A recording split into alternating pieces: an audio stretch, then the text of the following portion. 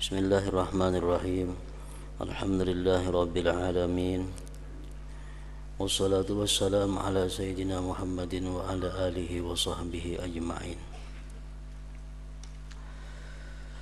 قال المصنف الإمام أبو حامد محمد بن محمد الغزالي رحمه الله ونفعنا بعلومه في الدارين آمين العقد الثالث السلام واليراء التاجر فيه عشرة شروط.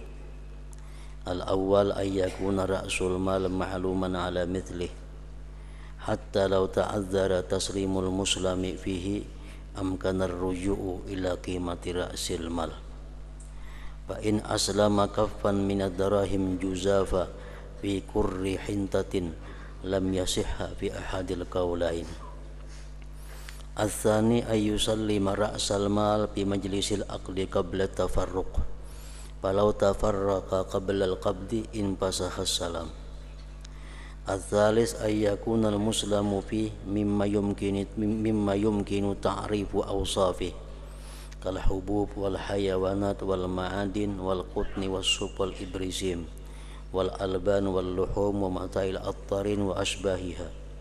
ولا يجوز بالمعجونات والمركبات وما تختلف أجزاؤه كالكس المصنوعة والنبل المعمول والخفاف والنعال المختلفة أجزاؤها وصنعتها وجلود الحيوانات. ويجوز السلام بالخبز وما يتطرق إليه من اختلاف قدر الملح والماء بكسر الطبخ وقلته يعفى عنه ويتسامح فيه إلى آخره.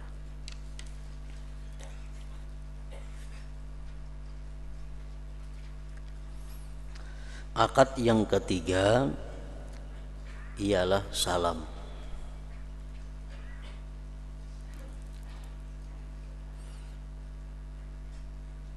Salam ini artinya taslimu ajilin fi iwadin la yajibu ta'jiluhu. Menyerahkan sesuatu yang kontan untuk gantian sesuatu yang tidak wajib menyegerakannya. Bahasa kitanya salam ini adalah pesanan. Batukar berjual dengan cara memesan.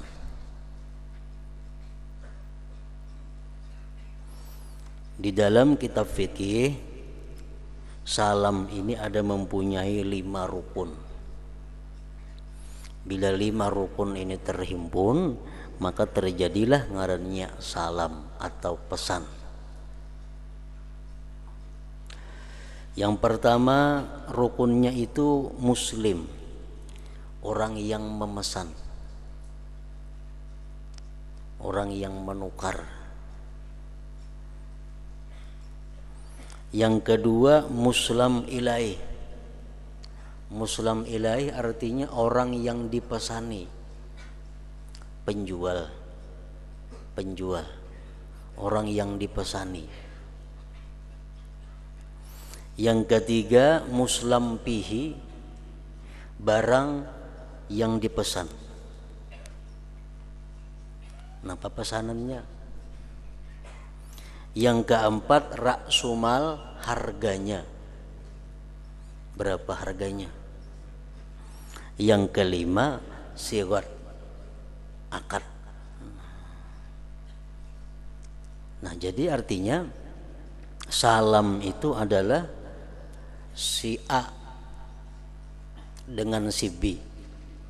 Ujar si A aku serahkan kepada engkau ini uang seratus ribu rupiah. Untuk pesanan pesananku direnjiakan apa-apa pesanannya. Nah lalu ujar si B aku terima pesanan engkau itu dengan harga seratus ribu rupiah. Nah ini istilahnya dalam bahasa fikih disebut salam itu. Nah dan ini termasuk adalah banyak dilakukan atau banyak diperbuat oleh kita dalam kehidupan sehari-hari kita memesan barang, kita bertampah barang. Nah, kayak apa caranya pesan bapesan, tampah bertampah nang bujur menurut syariat agama.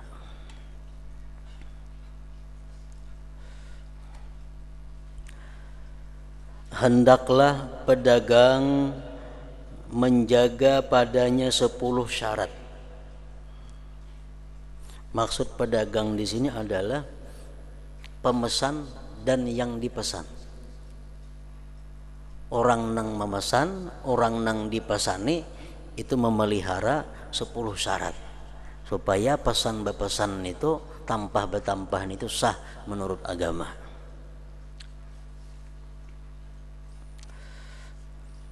Yang pertama modal itu diketahui terhadap misilnya. Artinya harganya jelas.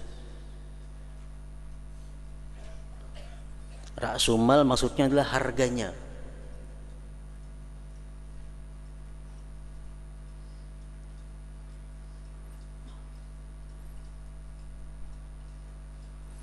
umpamanya kita memesan beras.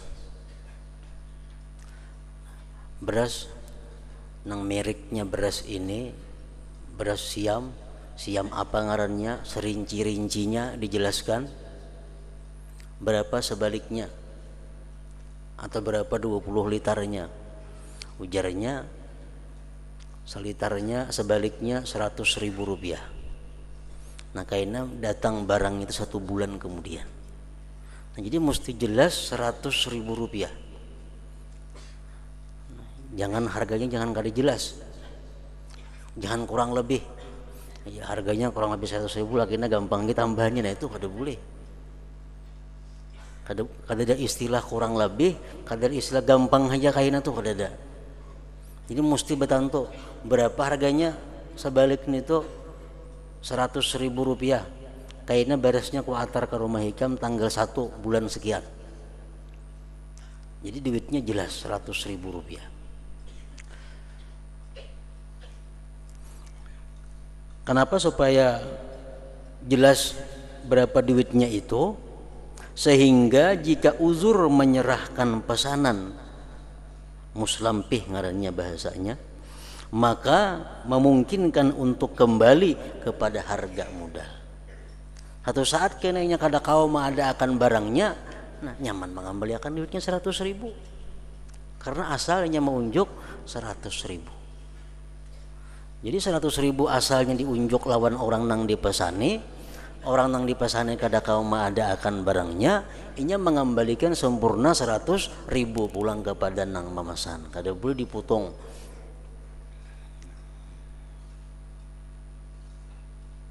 ini 100 ribu maunjuk amunnya kada kau akan barang tepat waktu bulik 100 ribu pulang duitnya. Nah itu pertama yang dipelihara adalah jelas berapa harganya masalah kayaknya pada saat itu barang turun naik harganya itu risiko nang dipasani sudah kada tahu lagi. Kita memesan hari ini tanggal 1 100 ribu sebalik. Berasnya supaya diantar kena ke rumah tanggal satu bulan depan. Bulan depan beras naik ada tahu urusan lagi. Kita tuh risiko nang orang dipesani nah, kada kau minta tambah kena beras benaik kada kawa karena mulai asal sudah akadnya kita 100 100 ribu rupiah atau berasnya turun kita minta kembali akan duit kada kawa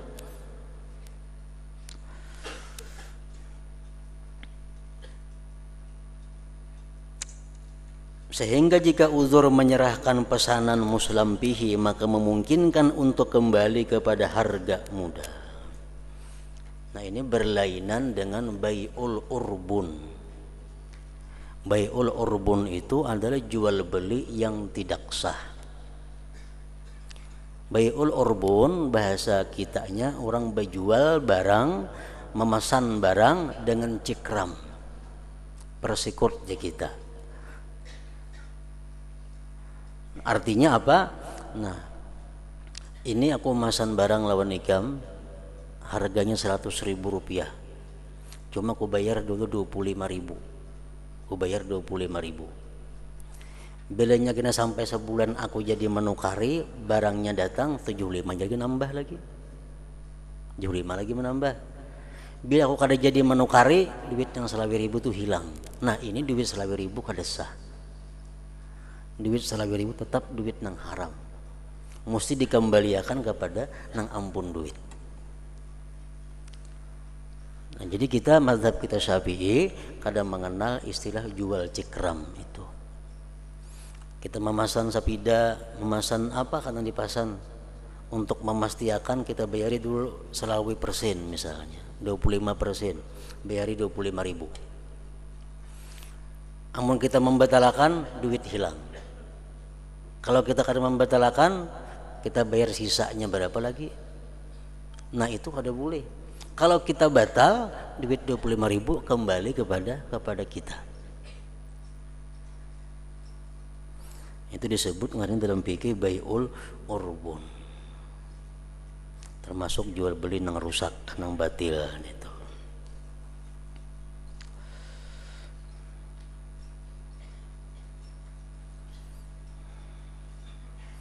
Nah, termasuk jual beli yang batil orang menjual menjual cek atau menjual kupon dengan harga yang lebih murah daripada kuponnya itu. Nah, ini termasuk dalam golongan riba. Misalnya kita ada berisi cek satu juta rupiah cuma ceknya itu kada kau dicairkan kecuali bulan dudi kecuali bulan dudi hanya kau dicairkan dijadikan duit. Wah ini kada kawa. Kita perlu duit kita jual lawan kawan cek tadi 900 ribu rupiah. Dijual 900 ribu rupiah. Padahal ceknya sejuta cuma bulan dudi kan hanya kawa cair. Nah itu kada boleh itu riba. Kupon sama aja. Kita misal bertukar apa? Eh, bertukar kayu atau berjual kayu atau berjual apa kalau umpamanya kita jual lawan seseorang seseorang bayar kupon kepada kita. Kuponnya misal 100 ribu selambar. Orang bayar kupon. Minggu dudi kena hanya kawa kupon ini dijadikan duit. Kita hendak lakas dijual kupon ke lain. Jadi 75 ribu atau 90 ribu. Padahal kuponnya 100 ribu bacaannya. Itu riba ngarannya. Nah itu kada boleh nih tuh. Lakas pang sugih nih tuh tukang tukar kupon ini. Kenapa? Kada boleh rugi. Cuma itu adalah riba. Bahasa kasarnya sama zaman akan duit. Kada bedanya. Jadi kupon nang 100 ribu orang perlu duit dijual 90 ribu. Kayaknya minggu akan datang hanya kalau dicairkan kuponnya. Nah itu kada boleh. Riba itu atau menjual gaji. Gaji hati nang dijual. Itu kada sah sama sekali. Kan gaji itu imbah bekerja hanya ada gajian. Ini gaji setahunan dijual berdahulu belum begawe lagi seorang berusia mati.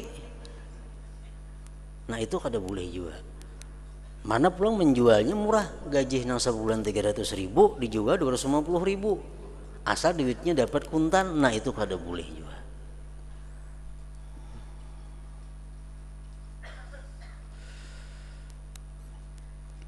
Nah adapun yang diperselisihkan oleh para ulama dalam praktik kita ini adalah bayul inah. Bayul inah itu jual dengan cara hutang dan kuntan. Artinya macam ini. Di sebuah toko di sebuah toko kita nukar sesuatu misal kendaraan. Berapa kendaraan ini aku nukar nah cuman duitnya kena setahun hanya bayar. Ujarna ampun toko. Kalau kayak itu setahun kamu bayar bukan kendaraan harganya 20 juta? 20 juta.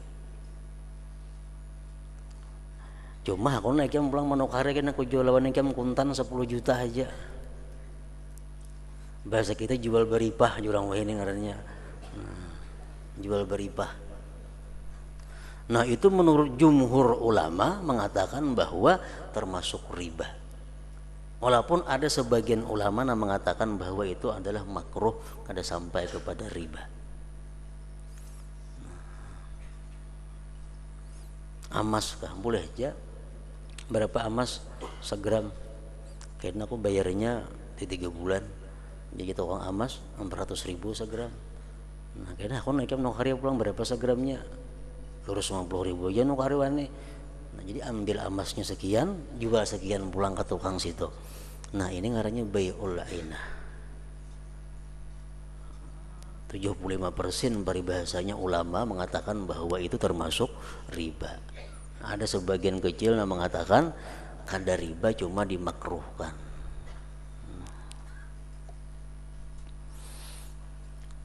Lain halnya dengan salam ini. Jual salam, jual salam ini dibolehkan asalkan dapat memelihara 10 syarat. Yang pertama syarat yang mesti dipelihara adalah bahwa harganya jelas. Harganya jelas. Jika ia menyerahkan setelah pak tangan atau segenggam daripada dirham bertumpuk pada setakar gandum, maka tidak sah menurut salah satu dari dua pendapat. Duitnya kada berhitung, berkira aja. Nah, segenggam dirham. Atau sekabat duitnya berapa? Nah aku bapasan lawan nikam nah sekabat duit ini kena tukarakan aku baras 10 balik umpamanya. Nah itu ada kawan kenapa? Kan duitnya berapa ada kawan itu. Jadi mesti tertentu jelas diketahui berapa jumlah duitnya.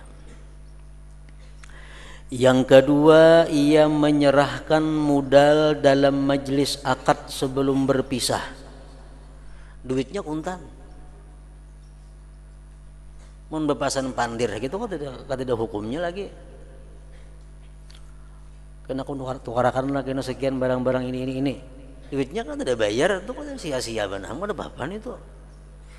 Karena termasuk di sini. Kalau nang salam ini duitnya ada dan dibayar di tempat pemandiran itu di mana? Nah ini duit nah seratus ribu rupiah.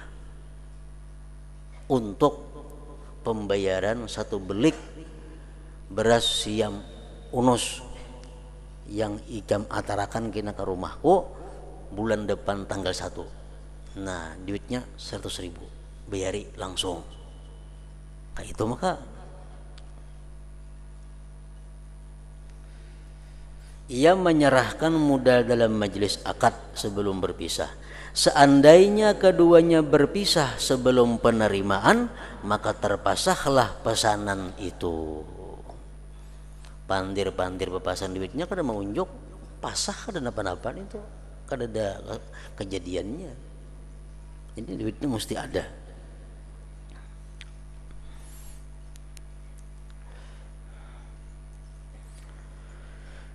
Yang ketiga, barang yang dipesan itu dari sesuatu yang mungkin dikenal sifat-sifatnya. Barang nang dipesan ini barang nang kawat dirinciakan dengan serinci-rincinya seperti biji-bijian binatang tambang kapas wool sutra susu daging bahan-bahan minyak wangi dan semisalnya.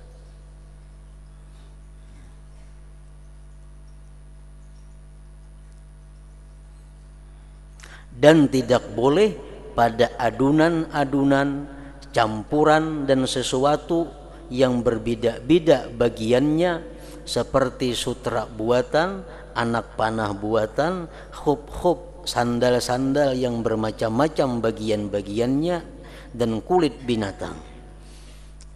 Kalau barang nang dipesan ini kita kadakawa persis merinciakan dengan sebenarnya itu kadakawa diulah jadi barang pesanan.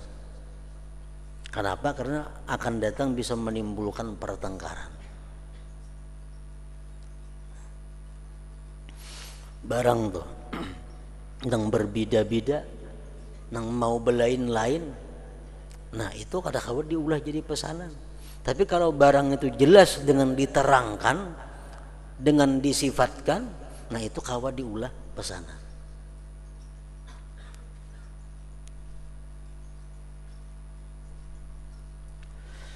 dan boleh salam pada ruti dan apa yang sampai kepadanya dari perbedaan kadar garam dan air dengan banyak dan sedikit dimaafkan dan diberi kelonggaran. Nah kalau roti kan roti itu adunan juga asalnya. Nah itu dimaafkan aja kita memesan roti itu. Kenapa? Karena kada banyak campuran-campurannya garam dan airnya itu dimaafkan.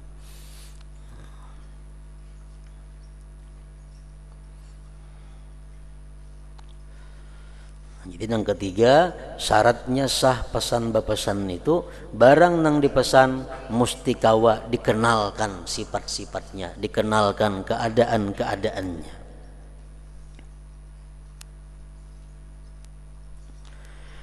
Yang keempat bahwa dihabiskan penyipatan hal-hal yang menerima bagi disifati sehingga tidak ada satu sifat yang padanya berbeda harga di mana orang-orang itu tidak tertipu dengan semisalnya melainkan disebutkannya. Sesungguhnya penyipatan itulah yang menempati tempat melihat dalam jual beli. Kan kalau jual beli kita kalau melihat langsung barangnya. Kalau pesan ini gantian melihat itu ya penjelasan. Jadi barang itu mesti sehabis-habisnya penjelasan dijelaskan. Kadang sebuting sifat pun yang tertinggal untuk dijelaskan.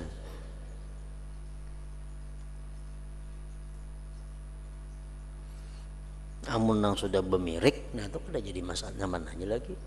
Misal samin umpamanya itu sudah ada miriknya. Aku serahkan lawan ikam ini duit sekian juta rupiah, 10 juta rupiah untuk pembayaran pesananku samin Gresik sekian sak umpamanya. Yang akan datang barangnya diantarkan ke tempatku pada tanggal anu bulan anu. Nah itu jelas saja. Sah sudah. Kada perlu perincian. Karena samin Gresik sebuting aja macamnya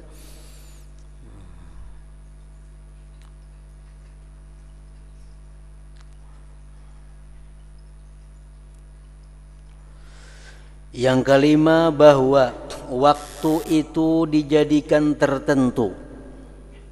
Waktu penyerahan barang mesti disebutkan. Waktu penyerahan barang mesti disebutkan dalam akad itu. Karena barangnya mesti ada pada tanggal anu bulan anu bahwa waktu itu dijadikan tertentu jika salam itu diberi timpu. Mesti ada waktunya. Maka tidak diberi timpu sampai panen dan tidak pula sampai mendapatkan buah-buahan. Ada boleh? Ini duit 100 ribu rupiah untuk pesananku lawan ikam baras siam sebalik kayaknya ikam atar lawan aku imbah mengatam. Nah ada boleh nih tuh apabila memang atamnya nih tuh terlalu umum waktunya. Tetapi sampai bulan dan hari disebutkan. Bulan anu hari anu tahun anu disebutkan. Karena mendapat buah-buahan itu kadang-kadang terdahulu dan kadang-kadang terdudi. Mengatam itu kada reta bisa berdahulu pada waktunya bisa berdudi. Jadi kada kawa diambil patukan kada boleh timpunya dijadikan mengatam. Mesti ada tanggal bulan harinya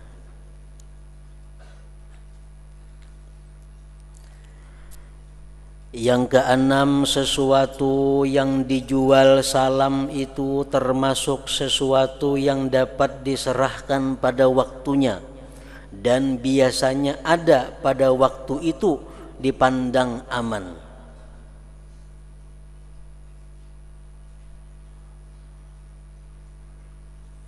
Artinya kita jangan menandak waktu nang biasanya di waktu itu barang itu belum musimnya Misalnya kita memesan baras. Sedangkan baras itu biasanya orang adanya baras itu bulan bulan Juni, Juli umpamanya. Nah kita hendak baras itu diantarakan kepada kita bulan Maret. Nah kada kawan itu. Karena bulan itu belum waktunya. Atau tiwadak umpamanya. Durian itu ada musimnya. andai kata kita menentukan waktu nang bulan bulan itu belum musimnya itu kada sah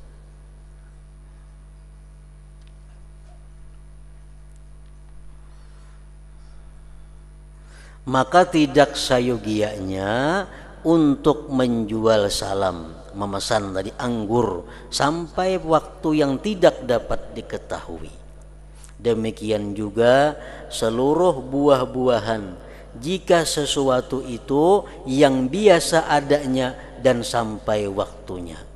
Namun ia lemah tidak dapat menyerahkannya. Karena sebab bencana, maka ia berhak boleh untuk menangguhkannya jika ia mau atau mempasahnya dan mengembalikan modal jika ia mau. Nah, misal kita berjanji, janji ada akan barang itu di bulan A, bulan B Nah pada bulan itu memang biasa ada barangnya. Tahu-tahu di bulan itu terjadi bencana sehingga barangnya kada ada. Nah itu boleh aja kada jadi. Boleh kita kada jadi, boleh kita minta tunda kaina waktunya dan bila kada jadi kita mengembalikan berapa harganya itu.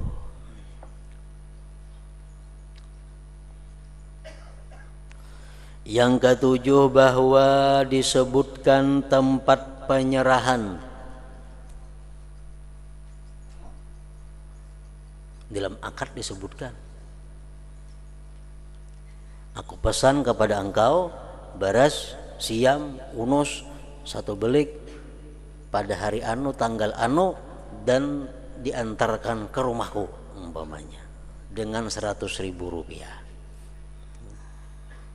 bahwa disebutkan tempat penyerahan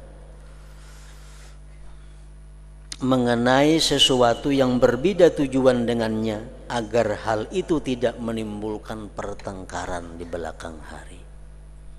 Nah jadi artinya semua an hukum-hukum Allah Ta'ala hukum-hukum pikih ini yang diatur sedemikian rupa intinya adalah supaya jual beli itu antara din saling ridha saling suka.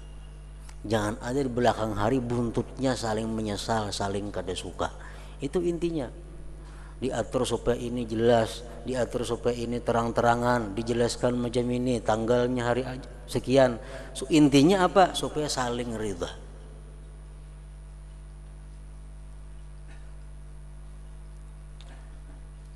Bahwa disebutkan tempat penyerahan mengenai sesuatu yang berbeda tujuan dengannya agar hal itu tidak menimbulkan pertengkaran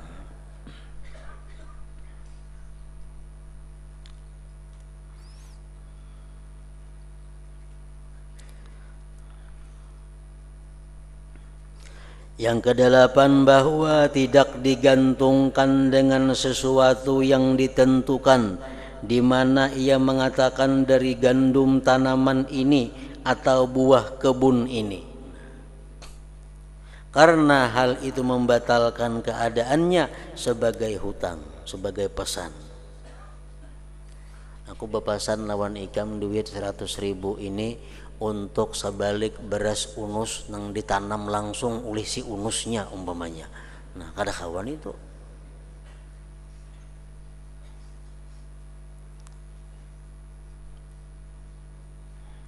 Memang seandainya ia menyandarkan kepada buah dari suatu negeri atau desa yang besar, maka hal itu tidak memudaratkan nah aku masa nawan ikan beras unus yang berasal dari gambut nah itu boleh aja kan gambut itu kan luas banyak aja. Atau berasal dari mana umpamanya? Tamban nah boleh aja.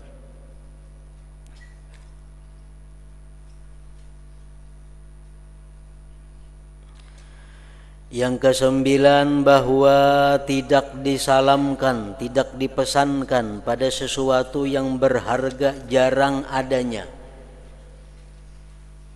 seperti permata yang disifati di mana permata yang seperti itu jarang adanya atau budak perempuan yang cantik bersama anaknya. Aku memesan lawan ikam umpamanya 10 kerat berlian nang bersih nang putih nang kada ada cacatnya. Nah itu kada kawa. Kenapa? Karena ngalih cariannya dikhawatirkan kayaknya sampai temponya kada dapat mencari barangnya. Bahwa tidak disalamkan pada sesuatu yang berharga jarang adanya seperti permata yang disifati di mana permata yang seperti itu jarang adanya. Atau budak perempuan yang cantik bersama anaknya. Ada kawa juga atau hal lain dari sesuatu yang biasanya tidak didapat. Kada kawa juga dipasanakan itu. Barang-barang nang ganjil nang sulit untuk dicari itu kada kawa dijadikan salam dijadikan pesanan.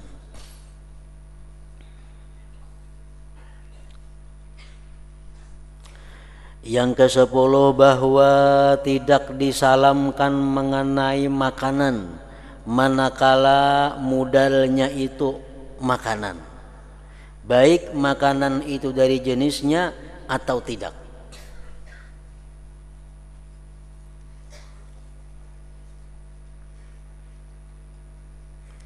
Karena makanan dan tidak disalamkan mengenai emas mengenai uang emas pirak. Apabila modalnya uang emas atau pirak Hal itu telah kami sebutkan di dalam masalah riba. Nah, bapasan beras dengan beras atau bapasan beras dengan gandum. Atau bapasan beras dengan jagung misalnya. Nah ini beras siam unus. Satu belik. Aku serahkan kepada engkau untuk pesananku satu belik baras siam gambut umpamanya. Yang ikam antar kena ke rumahku pada tanggal anu bulan anu. Nah itu kada boleh. Kenapa? Karena baras dengan barasnya kada kawa mesti kuntan. Orang berjual beras bila duitnya baras jua bila harganya baras jua mesti kuntan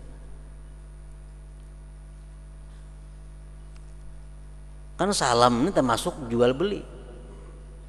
Salam termasuk bagian daripada jual beli pesanan. Nah jadi kalau bepasan nah aku bepasan lawan engkau dengan ini satu belik baras siam unus kayaknya ikam ada akan kepada aku bulan depan tanggal seanu baras siam gambut satu belik. Nah itu kada boleh riba. Termasuk riba. Nah jadi dibedakan itu dengan dengan jual beli dengan hutang itu belain. Kalau kita menukar baras tapi duitnya pembayarannya baras juga itu mesti kuntan kada boleh betunda. Dan mesti sama takarannya timbangannya. Nah kalau bahutang itu lain kisahnya pulang. Kalau jual beli dalam pikir ngarannya baik. Kalau bahutang ngarannya kardon aku berhutang lawan nikah beres sebaliklah di tiga bulan ini hanya bayar. Nah itu boleh aja nih tuh ini berhutang kalimatnya kata-katanya berhutang. Lain lawan jual beli lain lawan berhuruf. Berhuruf pang beres nah. Sebalik tapi di rumah beres ampunku anaknya. Nah kada boleh ini tuh harus kuntan harus dalam majelis itu serah menyerahkan Nah kalau berhutang lain kisahnya. Jadi berhutang baras, berhutang amas, kalau pembayarannya bukan daripada benda ribawi, nah berhutang baras, berhutang amas itu kalau jadi masalah. Ngaran kan berhutang. Malah bayar kuntan berhutang itu. Nah kalau jual beli emas, duitnya emas mesti kuntan jual beli beras dengan beras mesti kuntan. Kalau berhutang itu lain kisahnya. Berhutang lagi nak berhutang pang amas kena 50 gram nah. Ah, 4 bulan kena hanya aku bayari. Ambil amasnya 40 gram. Kayaknya sampai 5 bulan 6 bulan bayari 40 gram. Nah itu boleh aja nih itu ngarannya karbon itu hutang. Akadnya pun kada jual beli akadnya akad hutang jadi jangan disamakan lawan jual beli. Bahutang amas tuh kada boleh dia bayar amas. Namun bahutang amas bayarnya mesti amas juga. Bahutang amas bayar amas tuh dibolehkan. asal akadnya akad hutang jangan akad berhuruf jangan akad jual beli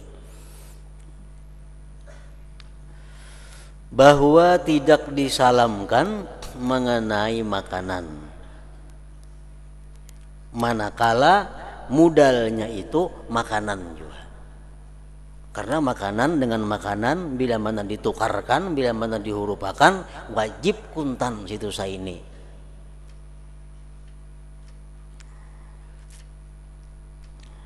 Baik makanan itu dari jenisnya atau tidak. Gelapung. Nah, ini barasko 10 balik sebagai pembayaran lawan ikam untuk ikam ada akan kena gandum sekian karung. Gelapung gandum. Nah kada kawan itu. Itu gelapung gandum dengan baras sama-sama pada riba. Benda-benda yang mengandung ribawi. Jadi mesti kuntan. Kalau berbeda takaran kada jadi masalah karena baris lawan gandum itu lain. Tapi kalau kuntannya tetap ada. Emas lawan pirak kalau kita berhurupan mesti kuntan. Mesti kuntan kada boleh betunda salah satunya. Bahwa tidak disamakan mengenai maka disalamkan mengenai makanan manakala modal itu makanan. Baik makanan itu dari jenisnya atau tidak. Dan tidak disalamkan mengenai uang emas perak. Apabila modalnya uang emas atau perak ada boleh juga. Misal duit kita dir, dinar. Dinar duit yang terbuat dari emas. Beratnya dinar itu umpamanya 3 gram. Aku bepasan lawan ikam dengan satu dinar ini nah.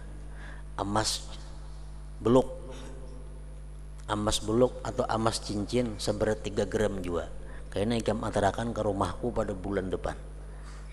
Nah itu kada sah riba. Kenapa? Karena duit yang diunjuk dinar. Dinar tuh ada emasnya emas barang ribawi barang yang mengandung riba. Emas sama pada emas ditukar dijual belikan mesti kuntan. Kada kau betunda sebulan kaina seisuk kaina kada kawa. Nah jadi sepuluh perkara itu nang wajib dipelihara nang wajib di, dilaksanakan oleh orang nang hendak berjual beli dengan cara pesan bapasan itu. Umpamanya bayar muka apa sekian nah itu lain lain salam ngarannya. Masa lawan nikam na berapa? Samping sekian sak 2 juta. Bayar dulu sejuta nah itu lain salam itu itu kada sah? Kenapa? Karena salam ini mesti kuntan duitnya pol semuaan. Mesti pol semuaan ada kawa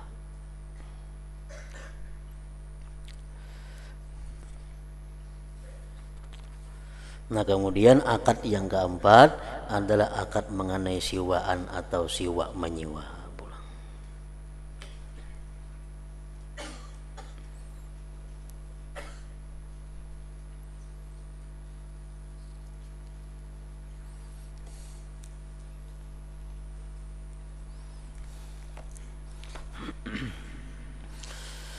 أفضل الذكر فاعلم أنه لا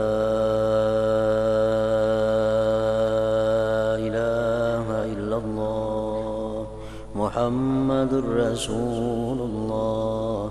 لا إله إلا الله. محمد رسول الله.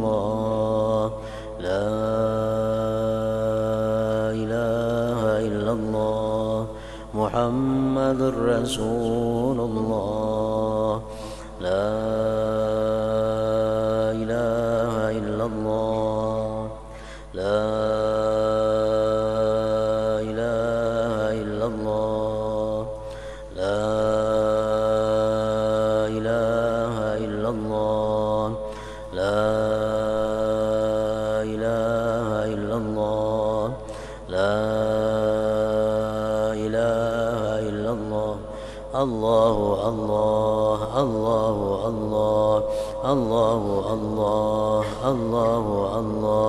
الله الله الله الله الله الله الله الله الله الله الله الله الله الله الله الله الله لا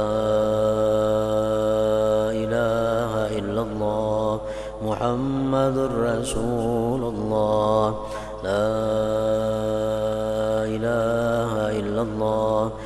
محمد رسول الله. لا إله إلا الله. محمد رسول